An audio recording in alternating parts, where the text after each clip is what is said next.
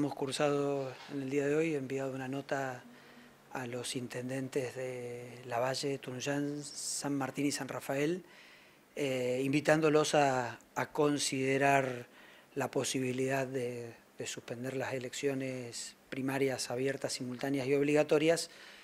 y eh, bueno, convocadas según cada una de las normas de los municipios para el 28 de abril y llevar la fecha junto con las elecciones provinciales, también paso, al 9 de junio. Esto, bueno, ya, desde público conocimiento se les otorgó a, los cuatro intendentes como actores en, el, proceso de inconstitucionalidad que han pedido por la, por la reelección indefinida de, de intendentes, se les dio lugar a la cautelar, con lo cual se los habilitó transitoriamente a participar del proceso, o sea que esa seguridad el intendente ya la tiene.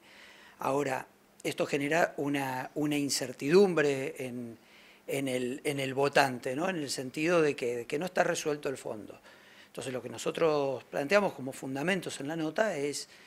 eh, si, si se diera una suspensión se daría un tiempo adicional y bueno, este tiempo adicional permitiría ir sobre la resolución del fondo del tema, la constitucionalidad o no de las reelecciones indefinidas de los intendentes. Esto obviamente daría certeza al proceso eleccionario y le daría certeza también a los, a los cuatro intendentes a los cuales le curse la nota, le daría certeza también a posibles precandidatos que quisieran presentarse también en el proceso,